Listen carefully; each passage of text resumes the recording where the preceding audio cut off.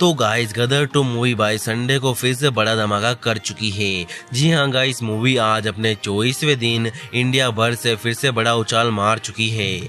तो मूवी आज कितना कमा रही है, बताते हैं वीडियो के साथ बने रहे। तो गाइस मूवी ने कल जहाँ छह करोड़ का इंडिया भर से शानदार कलेक्शन किया, वही मूवी ने आज तगड़ा जंप मारा है।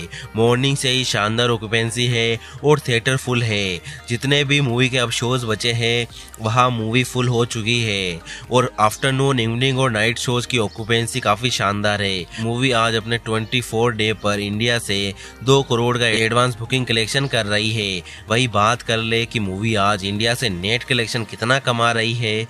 तो मूवी आज आराम से 10 से 12 करोड़ के बीच कमाई कर रही है, जो कि काफ़ी बढ़िया बात है। और ये मूवी की लास्ट सबसे बड़ी कमाई है, क्योंकि आज तीन तारीख हो चुकी है और तीन दिन ही बचे हैं जवान को आने में। फिर पूरे थिएटर पर जवान का कब्जा होगा और कल मंडे से मूवी के शोज़ कम हो जाएँगे और कलेक्शन भी डाउन होते चले जाएँगे। तो मूवी के अभी तक के कलेक्शन की बात करें तो गाइस मूवी का आज समेत इंडिया से total net box office collection 502 crore के समथिंग हो जाएगा।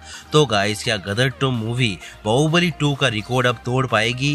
क्योंकि बाहुबली का इंडिया से total net box office collection 510 crore है, जिसके गदर टू काफ़ी नज़दीक पहुँच चुकी है। तो बाहुबली टू का रिकॉर्ड शायद टूट ही जाएगा, लेकिन देखना सबसे ज़्यादा मज़ेदार ये रहेगा कि क्या गदर टू मूवी पठान के पाँच करोड़ के आंकड़े तक पहुँच पाती है, जो कि नामुमकिन सा लग रहा है, क्योंकि शाहरुख खान की जवान अब बॉक्स ऑफ़िस पर कब्जा करने वाली है। और जवान ही वो मूवी बनेगी जो पठान का रिकॉर्ड तोड़ेगी। तो शाहरुख खान ही एक ऐसा बंदा है जो अपने रिकॉर्ड खुद ही तोड़ता है। अभी तो ये देखते हैं, Gadar two movie Baahubali two का रिकॉर्ड कब तोड़ती है। और इस पर आपके क्या थॉट्स है, कमेंट बॉक्स में कमेंट करके ज़रूर बताएँ। और वीडियो पसंद आई हो तो लाइक करके चैनल को सब्सक्राइब ज़रूर कर दीजिए। मिलते हैं अगली वीडियो में। Take care